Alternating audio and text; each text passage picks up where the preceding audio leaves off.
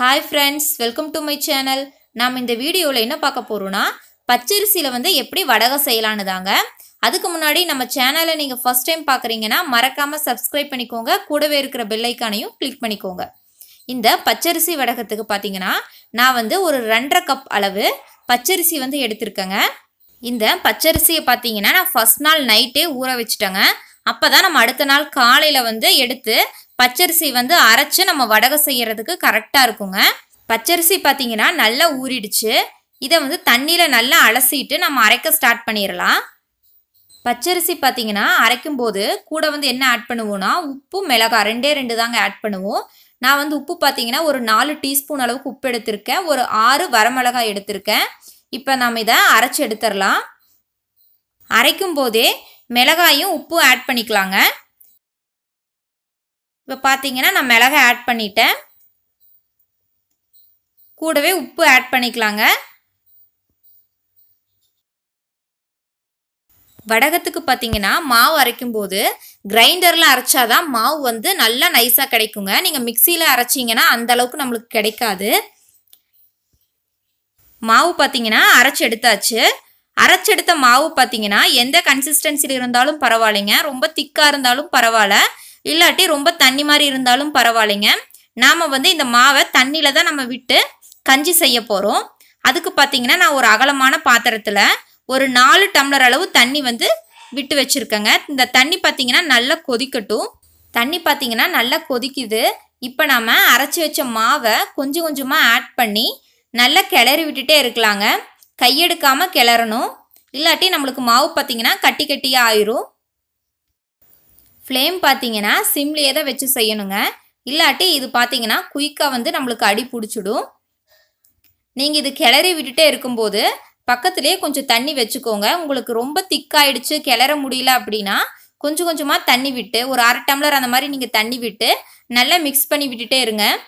இந்த மாவு பார்த்தீங்கன்னா நல்லா கொதிச்சு நம்மளுக்கு க்ரீமி கன்சிஸ்டன்சியில் வரணும். இப்போ பார்த்தீங்கன்னா குயிக்காக வந்து திக்காயிடுச்சு இப்போ நம்ம கொஞ்சமாக தண்ணி விட்டு நல்லா மிக்ஸ் பண்ணி எடுத்துக்கலாங்க. கட்டியெல்லாம் இல்லாமல் இப்போ பார்த்தீங்கன்னா நான் தண்ணி விட்டதுக்கு அப்புறமா நல்லா மிக்ஸ் பண்ணி எடுத்துட்டேன். கட்டியெல்லாம் எதுவுமே கிடையாது. கைவிடாமல் கடைசி வரைக்கும் நீங்கள் மிக்ஸ் பண்ணி விட்டுட்டே தான் இருக்கணுங்க. மாவு பார்த்தீங்கன்னா நல்லா கொதிச்சு க்ரீமி கன்சிஸ்டன்சியில் வந்து ஆயிடுச்சுங்க.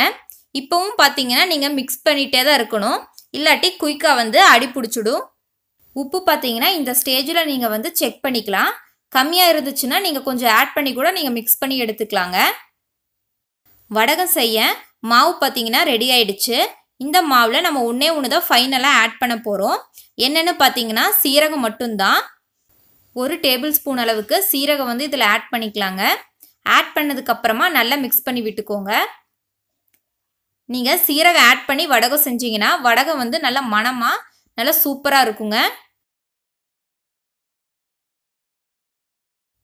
நல்லா மிக்ஸ் பண்ணி விட்டதுக்கு அப்புறமா நம்ம வந்து ஒரு டென் மினிட்ஸ் அந்த மாதிரி விட்டுறலாங்க. ஏன்னா நம்மளுக்கு சூடாக இருக்கும் வடகை வந்து போட முடியாது. நல்லா ஆறுனதுக்கு அப்புறமா நம்ம வந்து வடகை வந்து போட ஸ்டார்ட் பண்ணிடலாம் மாவு பார்த்தீங்கன்னா ஆறிடுச்சு. இப்போ நம்ம வடகம் வந்து போட ஸ்டார்ட் பண்ணிடலாம் அதுக்கு நான் ஒரு ஒயிட் கிளாத் எடுத்திருக்கேங்க. அதில் பார்த்தீங்கன்னா நான் கையில் தான் இன்றைக்கி வந்து வடகம் வந்து போட போகிறேன் அதுக்கு நான் கொஞ்சம் கொஞ்சமாக மாவு எடுத்து இந்த மாதிரி வச்சுக்க போகிறேங்க அவ்வளோதான்.